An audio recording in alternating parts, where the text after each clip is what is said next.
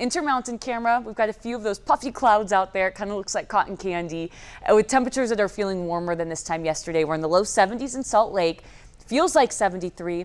Actually, a bit more refreshing in Park City in the upper 40s, 60 in Nephi. It's nice to be in the 60s. Uh, low 80s in St. George, upper 70s right now in Moab with clear skies all across the board. Those showers from yesterday, they're out of here. Now it's all about this high pressure. This is what we're watching.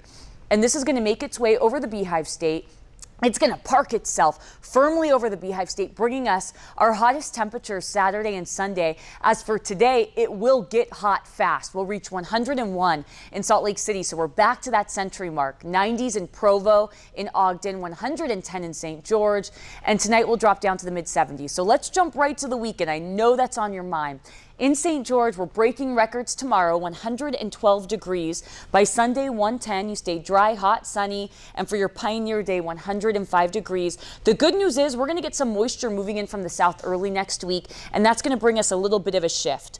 And in northern Utah, let's talk about this weekend uh, in our super seven day forecast. So Saturday and Sunday, 105 and 106 degrees. That's when this heat peaks. Uh, let's talk about where our current records sit right now. Currently, for Saturday and Sunday, our record is at 104 degrees. So we're expecting to break records both Saturday and Sunday. Into Pioneer Day, you're waking up to 80 degrees. So if you're going to be out there for any parades early in the morning time, be prepared for things to feel warm from the get-go. And we'll hover in the triple digits, a bit cooler Monday, but we'll stay right there all the way into Thursday. So 100 degrees, it's not going anywhere.